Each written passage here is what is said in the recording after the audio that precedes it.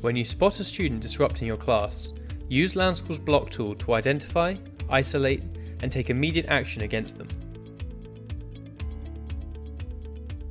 Instantly shut down their web browsers or running programs from a list of live processes, closing it down on their machine. Blocking is simple, quick, and effective, and allows you to neutralize instances of misbehavior the moment you spot them. Students are notified that you've taken action against them, realize they're being actively monitored, and will adjust their behavior accordingly.